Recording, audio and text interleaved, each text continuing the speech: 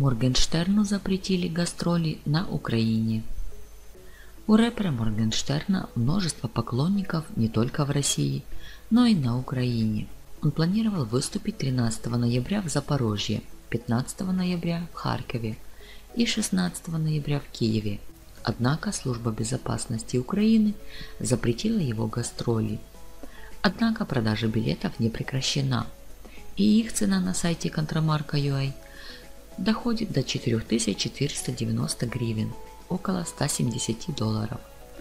Организаторы концертов говорят, что им неизвестно о запрете музыканту посещать страну, хотя в черном списке Министерства культуры Украины Валеев Моргенштерн Алишер Тагирович значится под номером 28.